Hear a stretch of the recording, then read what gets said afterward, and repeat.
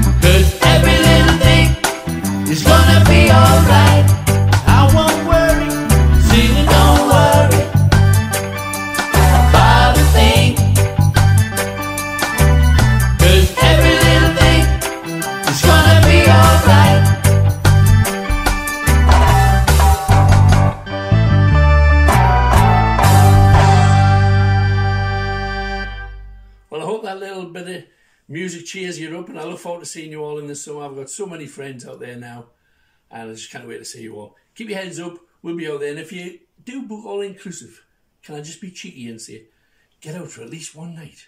Try the bars or the restaurants. They're well worth it. See you in the summer, guys. Keep your heads up. Love you all.